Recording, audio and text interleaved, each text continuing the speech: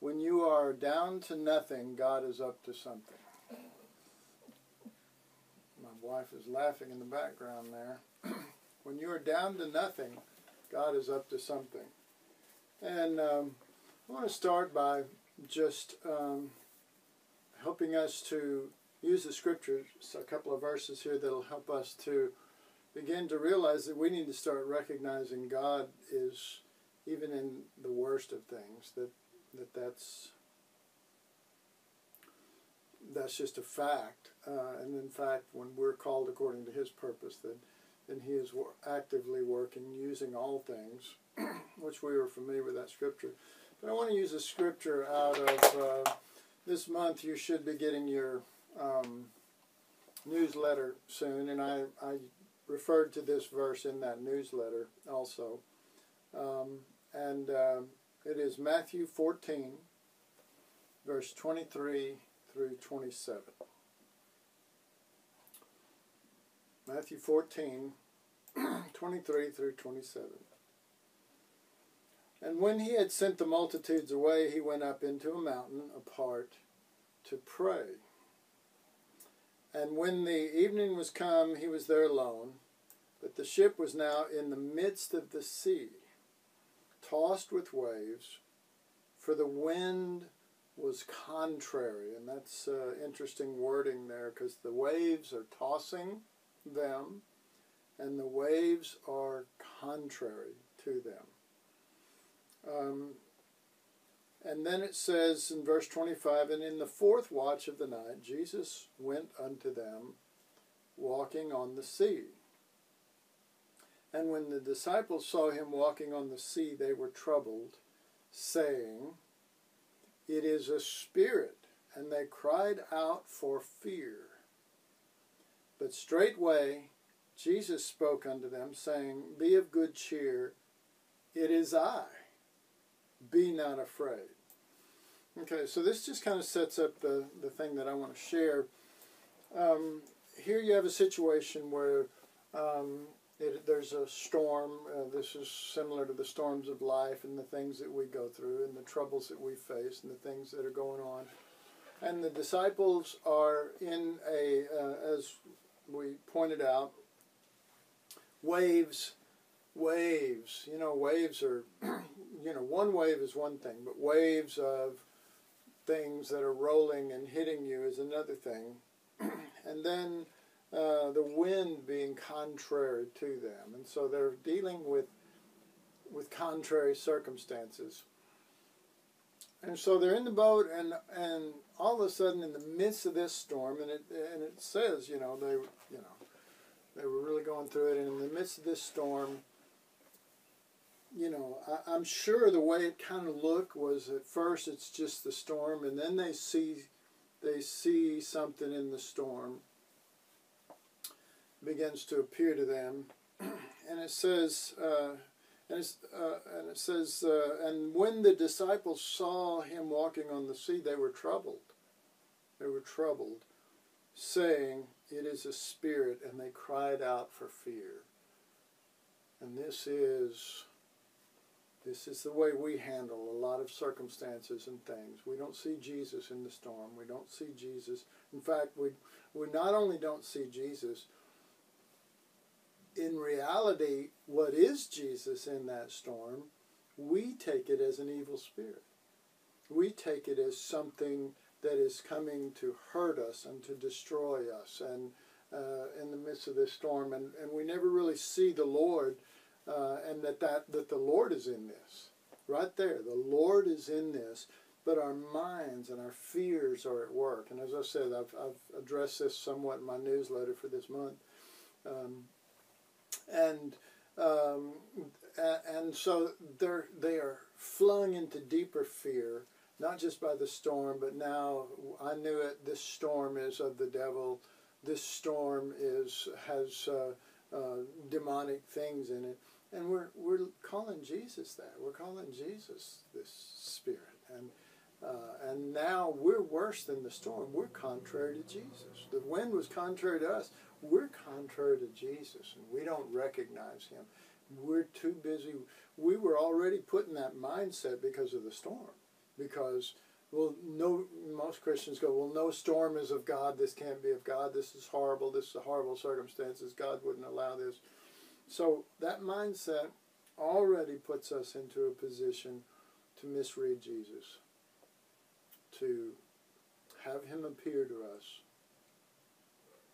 but we don't we don't see him even when he's appearing there. And so uh, it's it's along those lines that I want to go ahead and share, and I want to share about the uh, the life of Joseph, but it is factually true that if you go through any major person in the Bible, um, the greatest stories that we draw out from are, you know, Jonah in the whale, or Joseph down in Egypt in the pit, or or uh, we just go through all of them, and they have to, you know, David going up against Goliath, something. He's a little kid, he's too weak, he's too, and this thing is so much greater, and it's always, um, it's always a crisis, out of which comes the greatest manifestations of Christ, and the greatest growth for us, and the greatest heart of God to be um, fulfilled and reached because we we not only see him in the storm, we understand what he's doing. Yeah. We're with him in it. All right. So uh, Joseph's life in Genesis um, uh, 37, and we'll just read first verses starting with verse three through seven. Now Israel, Israel being the father of Joseph. Now Israel loved Joseph more than all of his children because he was the son of his old age, and he made him a coat of many colors. And when his brethren saw that their father loved him more than all of his brethren, they hated him and could not speak peaceably unto him. And Joseph dreamed a dream, and he told it to his brethren. They hated him yet the more. And he said unto them, Hear, I pray you, this dream which I have dreamed. And he begins to describe it. But but in this early age, this is this is where he's at the height of everything that's that that most Christians try to attain to. He's he's young, he's loved by his father. Uh, he's wearing this coat of many color, which is a display of of the father's honor to him and love to him, and uh, uh, and as you know, God is declaring him openly um, and uh, he's got a blessed life, and he's blessed by God. He's not just blessed by his father, he's blessed by God. Uh, he has uh, really cool dreams. You could call them dreams of grandeur, but they're still really cool if grandeur is where you want. And, uh, and the future looks bright. But in that same chapter, uh, Genesis 37, verse, first verse 18 through 20, And when they saw him afar off, even before he came near unto them, they conspired against him to slay him. They conspired, they wanted to slay him. And they said one to another, Behold, this behold, this dreamer cometh. This dreamer cometh. And that's important to them, and it's important to this whole situation. Come now, therefore, and let us slay him, and cast him into some pit, and we will say, Some evil beast hath devoured him, and we shall see what will become of his dreams. See, and they're reacting. They're reacting to, to these dreams. Um, and then now look in verse 26 through 28. and Judah said unto his brethren, What profit is it if we slay our brother and conceal his blood? Come, and let us sell him to the Ishmaelites and let not our hand be upon him, for he is our brother in our flesh, and his brethren were content.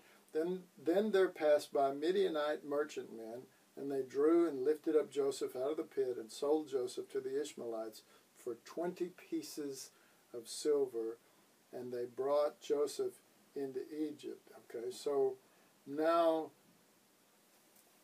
the situation we're seeing that the, the, the beautiful time that he had is all turning.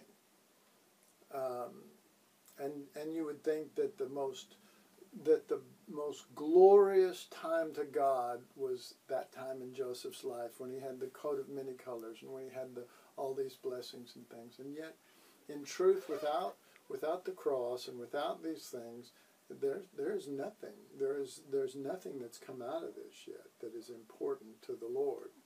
Um, and there's no, nothing that's come out of Joseph because he hasn't seen the Lord in it. Right now, all he sees is like the disciples in the boat, seeing the storm, then seeing Jesus, but not seeing Jesus, and they just see an evil spirit. And this is what was once good times are now bad times because he's not mature enough to comprehend that. Okay, Genesis 39, uh, verse 16 through 20. and this is after he's been taken down in Egypt. So, so what we just read was that the brethren, the, the the brethren turn against him, and in so doing, they um, do these things against him, which which you know is to destroy him in the eyes of the Father, whether it's death or whatever.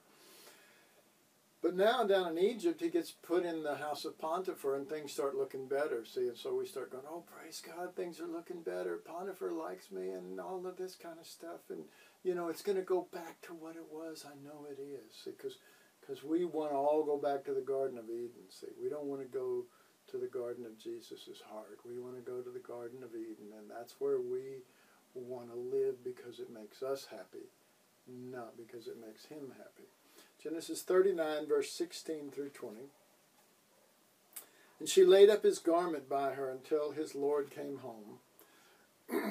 and uh, verse 17, and she spake unto him according to these words, saying, The Hebrew, she's talking to her husband now about this incident that happened with Joseph. The Hebrew servant which thou hast brought unto us came in unto me to mock me, and it, and it came to pass as I lifted up my voice and cried that he left his garment with me and fled out. And it came to pass, when his master heard the words of his wife, which she spoke unto him, saying, After this manner did thy servant to me, that his wrath was kindled, and Joseph's master took him and put in him into the prison, a place where the king's prisoners were bound, and he was there in prison. And okay, so so now the bright, beautiful future and the great turn that God was bringing about to justify Joseph because of the meanness of his brothers, all of a sudden it's turned worse. I mean, it's one thing to be thrown in a pit and then to be taken out of the pit, sold unto Ishmaelites, taken down into Egypt.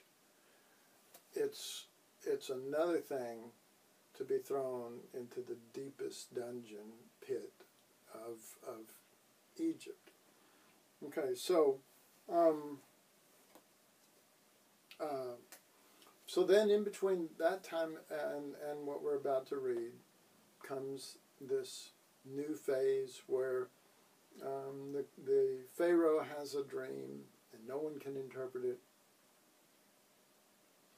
And, um, and, and Joseph hears from God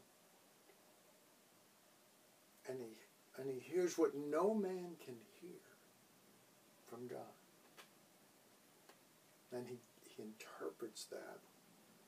And it's all in relationship to the butler and the whatever, the baker and the Indian chief. And, uh, and so this, there is this um, hope that begins to arise now that is, you know, coming from this place of self hope arising from this place of hope for self. And so, this is Genesis 40, verse 14 and 15 first. Genesis 40, verse 14 and 15. But think, think on me when it shall be well with thee, and show kindness. So this is what he's saying to the one that was raised up uh, and coming out of the dungeon. Uh, and, and show kindness, I pray thee, unto me. Think on me when it shall be well with thee, and show kindness, I pray thee, unto me, and make mention of me unto Pharaoh, and bring me out of this house. For indeed I was stolen away out of the land of the Hebrews. And here also have I done nothing, have I done nothing, they should put me into the dungeon. All right. So he's telling this to the butler because the butler's the one who's who's who got out. And and really, you know, it, it's all due to Joseph. But Joseph is still he still thinks how shall I say it? He still thinks wrong about the way things are supposed to go.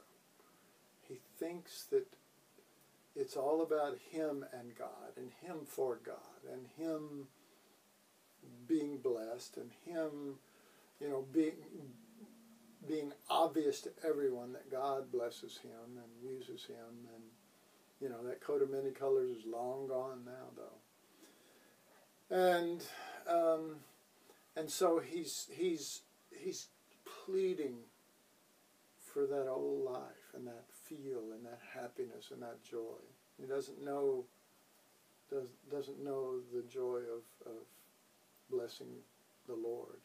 He only knows the joy right now of him being justified and rectified and honored. All right. Um, and then verse 23 of that says, Yet did not the chief butler remember Joseph, but forgot him. Okay. So, wow, this is tough. This strikes this strikes deep into Joseph, and he realizes that uh, things are uh, things have changed. Now, he, now he's not young; he's older. Uh, now he's not honored; he's rejected in a prison. Uh, now he's not blessed of God. He, you know, the only thing is God seems to do stuff for other people at this stage and uh, and all of those dreams, none of the words that he was given are coming to pass, and he has no future. Oh no. You know, anybody remember when you get all them words and you go, oh, I'm going to be great? anyway, so Joseph's far down in the dungeon, and I'm sure this, you know, you have it from other people in the Bible, but I'm sure he thought, I wish I were dead. Um, you are dead with Christ. You are dead. You don't need to wish it. You're dead with Christ. You need to need to grow in the reality of that, and these things won't affect you as you move towards what God really has for you. So here he's sitting there and he's thinking about you know the benefits that he brought to the to the butler and the, the other people and the things that have happened. And and uh, the dreamer has come to the realization that he has no more dreams about himself but for others but for the butler but for pharaoh but for all of egypt but for this wonderful thing that happened after this, where he heard from God, and the the wonder of the change that starts happening in him when he realizes all the dreams that I had for me are not important. Now, these God has given me dreams, and they're blessing whole nations. And in fact, the dream didn't bless Egypt alone; fed the whole world because of a change of spirit and a change of heart. So, so in reality, God is blessing Joseph at his lowest point. He, that's what he's doing. He's blessing Joseph at his lowest point, but others are being raised up, and uh, and that's frankly that's the same thing he does for us at the cross. He brings us down into death so that that seed of Christ can fall into the ground and die, and we can be a blessing to others at our own at our own expense. Um, we are so we are demoted in blessing and promoted in prison. So my title was when you are down to nothing, God is up to something. So I want you to remember that story of Jesus in the storm. I want you to remember that he brings these things on us for something greater. And in that case, he'd like for us to see him in the, in the storm and not just assume that it's the devil or some other kind of a spirit and fight against it, but to find Christ and him crucified in a way that will change lives. Let's pray. Father, bless your word. Bless your people. Be blessed. Be blessed by those of us who embrace your cross and your nature and seek your heart and seek the Lamb. We ask in Jesus' name.